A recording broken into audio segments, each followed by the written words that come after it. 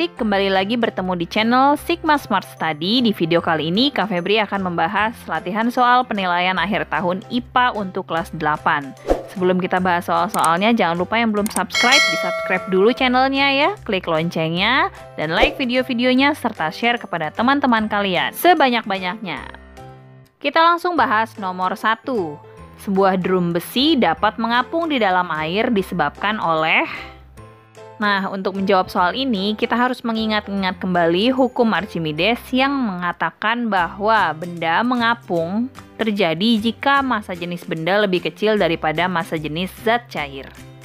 Itu artinya drum dapat mengapung karena di dalam drum berisi udara yang massa jenis keseluruhannya lebih kecil daripada zat cair, sehingga drum tersebut dapat mengapung. Maka jawaban yang benar untuk nomor satu adalah A. Materi selengkapnya bisa kalian simak di video tekanan pada zat. Kita lanjut ke nomor 2. Perhatikan gambar berikut ini. Gaya apung yang dialami benda sebesar Nah, seperti biasa ya, kita tulis dulu yang diketahui adalah berat benda di udara atau WU sebesar 85 Newton, berat benda di air atau WA 60 Newton, yang ditanyakan adalah gaya apung atau FA-nya. Nah, rumus FA adalah WU dikurangi WA. Maka FA adalah 85 dikurangi 60, jawabannya 25 Newton. Jadi, jawaban yang benar gaya apung yang dialami benda adalah B, 25 Newton. Materi selengkapnya bisa kalian simak di video tekanan pada zat.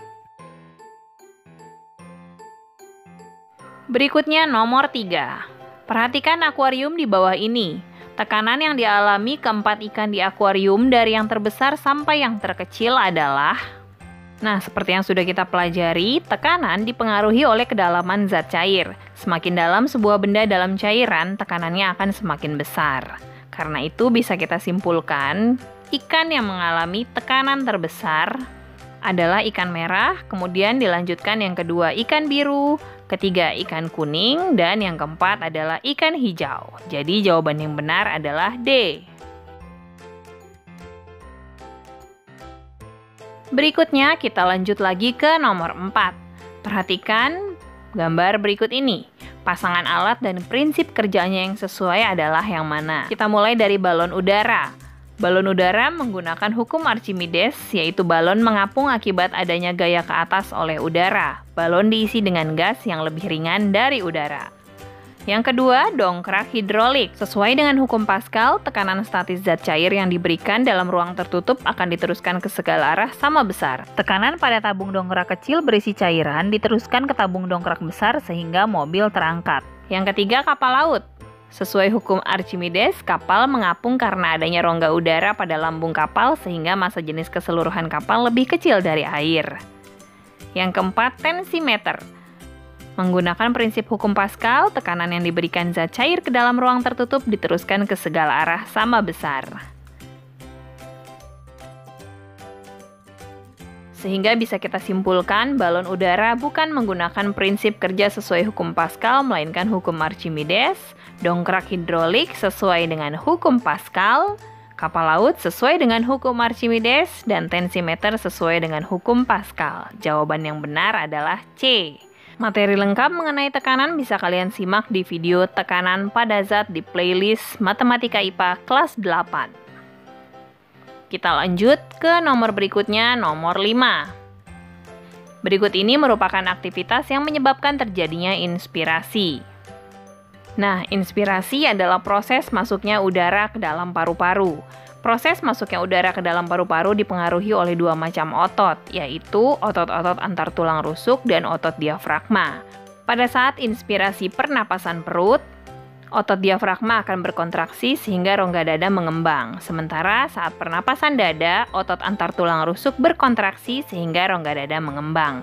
Jadi nomor 5 jawaban yang benar adalah D. Materi selengkapnya mengenai sistem pernapasan bisa kalian lihat di playlist Matematika IPA kelas 8. Berikutnya nomor 6. Tempat untuk menampung urin sebelum dikeluarkan dari tubuh ditunjukkan oleh nomor berapa. Nah, kita bahas satu persatu bagian-bagian yang ada di gambar ya. Nomor satu itu adalah kelenjar adrenal yang berfungsi untuk menghasilkan hormon. Lalu nomor 2 adalah ginjal, yaitu organ ekskresi. Nomor 3 ureter, menghubungkan ginjal dengan kantung kemih. Nomor 4 kantung kemih, yang berfungsi menampung urin sebelum dikeluarkan. Nomor 5 uretra, berfungsi sebagai saluran pengeluaran urin dari kantung kemih. Jadi berarti jawaban yang benar adalah nomor 4, kandung kemih. Materi selengkapnya mengenai sistem ekskresi bisa kalian lihat di video sistem ekskresi manusia. Kita lanjut lagi ke nomor 7. Berikut ini faktor-faktor yang mempengaruhi frekuensi pernapasan adalah Nah, frekuensi pernapasan adalah ukuran berapa banyaknya napas yang diambil dalam satu menit. Frekuensi pernapasan tersebut dapat dipengaruhi oleh beberapa faktor, yaitu usia, jenis kelamin, suhu tubuh, penyakit, emosi, dan aktivitas tubuh. Jadi jawaban yang tepat untuk nomor 7 adalah A. Aktivitas tubuh, umur, dan jenis kelamin. Materi mengenai sistem pernapasan selengkapnya bisa kalian simak di video sistem pernapasan.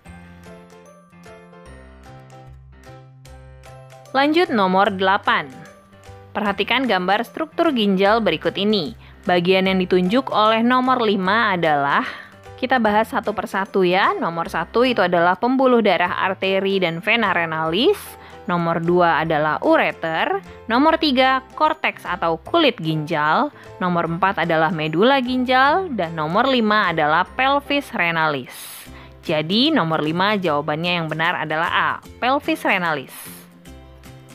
Materi lengkapnya bisa kalian simak di video sistem ekskresi manusia di playlist Matematika IPA kelas 8.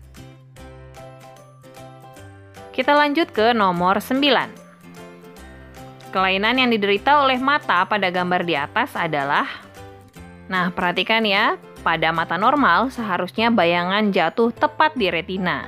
Nah, kita lihat pada gambar bayangan benda jatuh di depan retina. Itu artinya mata tersebut mengalami kelainan rabun jauh dan bisa dibantu dengan menggunakan lensa cekung atau lensa minus. Jadi, untuk nomor 9 jawaban yang benar adalah C miopi sehingga harus dibantu dengan kacamata minus. Materi selengkapnya bisa kalian lihat di video cahaya dan alat optik. Lanjut ke nomor 10. Sebuah kapal sedang mengukur kedalaman laut dengan menggunakan osilator. Sebuah bunyi dengan frekuensi tertentu dipancarkan melalui air laut dan pantulannya diterima kapal setelah 3 detik. Jika cepat rambat bunyi di air laut 1750 meter per second, maka dalamnya laut adalah Nah, seperti biasa kita tulis dulu yang diketahui waktu atau T 3 second, kecepatan atau V 1750 meter per second. Yang ditanyakan kedalaman laut atau S. Rumus S adalah V dikali T, kita dapatkan hasilnya 5250. Karena gelombang yang dipantulkan bolak-balik, maka hasilnya dibagi dua. Jadi jawabannya adalah 2625 meter. Materi selengkapnya bisa kalian simak di video getaran, gelombang, dan bunyi. Lanjut lagi ke nomor 11. Organ pernapasan yang strukturnya tersusun dari cincin-cincin tulang rawan dan selaput lendir yang terdiri atas jaringan epitelium bersilia adalah Nah, bagian dari organ pernapasan yang tersusun atas cincin-cincin tulang rawan dan tersusun atas jaringan epitelium bersilia itu adalah trakea atau batang tenggorok. Jadi jawaban yang benar adalah B. Materi selengkapnya bisa kalian lihat di video sistem pernapasan. Lanjut nomor 12. Zat sisa metabolisme yang dikeluarkan melalui paru-paru adalah seperti yang kita ketahui, paru-paru adalah organ yang berfungsi untuk melakukan proses pernapasan, menghirup oksigen dan mengeluarkan karbon dioksida serta uap air. Jadi, yang dikeluarkan oleh paru-paru adalah uap air serta karbon dioksida. Jawaban yang benar C. Materi selengkapnya bisa kalian simak di video sistem pernapasan. Kita lanjut lagi ke nomor 13. Fenomena pada gambar di samping terjadi karena Nah, kita bisa lihat pada gambar sebuah pensil dimasukkan ke dalam gelas yang berisi cairan atau air sehingga tampak seperti patah karena terjadi pembelokan arah cahaya akibat perbedaan kerapatan optik air dan udara sebagai mediumnya atau bisa disebut pembiasan cahaya. Jawaban yang benar adalah C. Video selengkapnya bisa kalian simak pada cahaya dan alat optik. Lanjut lagi ke nomor 14. Berikut ini proses perjalanan cahaya pada mata hingga terbentuk bayangan benda adalah Nah, perhatikan ya urutan atau mekanisme masuknya cahaya ke dalam mata hingga terbentuk bayangan. Pertama sekali masuk melalui kornea, lalu masuk melewati pupil, lanjut melalui lensa, dan pada akhirnya bayangan jatuh di retina. Jadi urutan yang benar adalah kornea, pupil, lensa mata, lalu retina. D. Materi selengkapnya bisa kalian simak di video cahaya dan alat optik. Berikutnya nomor 15.